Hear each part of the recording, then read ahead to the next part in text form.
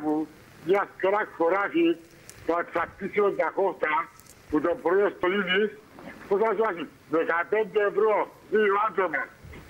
Και γενικά μέσα στο Ρίγιο θα πισάρε κάλε κόφτα για γιορτές ημέρες που δεν έσαι πιο άρα. Και πιάσει 15 ευρώ που το πρωί ως το Λίδης.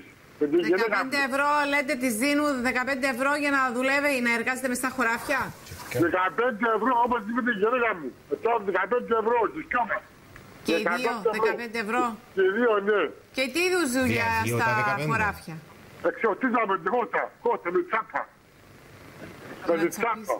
Κύριε Νικό, από 15 ή 15 και για τους δύο μαζί; 15 ευρώ και άρε φίλος, παντίνος το όμως άρε, 15 ευρώ εγώ μαζί με την γυναίκα μου ήταν, ήταν μπάσκα και δεν είχα φάσει φίλε μου τίποτε.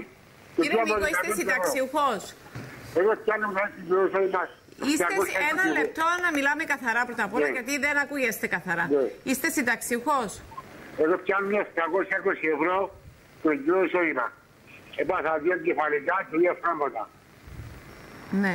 Και βρήκατε δουλειά να πάτε σε ένα χωράφι, να τσαπίσετε, να το πούμε Ναι. έτσι. Το τσαπίσατε, λέτε, με τη σύζυγό σας Ναι, και ναι. σας έδωσαν πόσα ευρώ; 15 ευρώ. 15 ευρώ που το πρωί ως τη νύχτα. 15 Ναι, ευρώ. 15 ευρώ, ναι. Εντάξει. 15 ευρώ. Αν πάρει από αυτή το μονεκαβή, Μάλιστα. εκμεταλλεύονται. Και καλά στέλνει αυτό. Μάλιστα. Ευχαριστούμε κύριε Νίκο. Να είστε Πλάτικο. καλά. Πάμε στον Ναι. επόμενο φιλό.